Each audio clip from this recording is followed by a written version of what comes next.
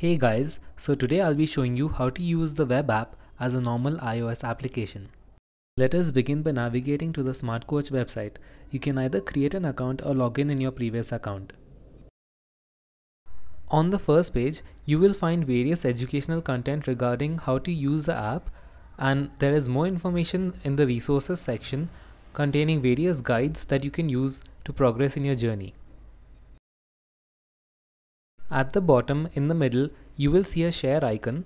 Click on it and click on add to home screen.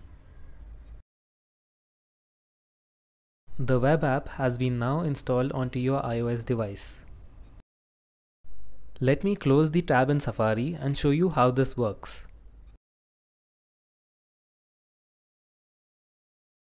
It may look like a website, but it actually behaves like an application. That means you don't need to refresh all the time you can just use it like an app.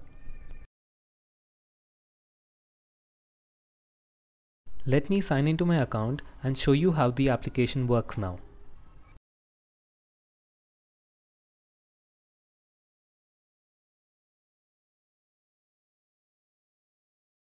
As you can see, the website has now become full screen and it's behaving like an application.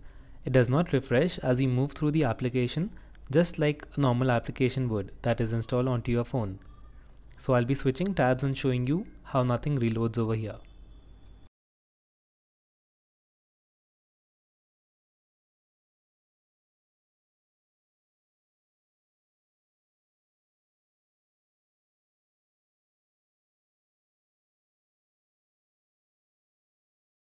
Let me close the app and try everything again now. As you can see, everything has been stored onto your device, so there is not much reloading involved.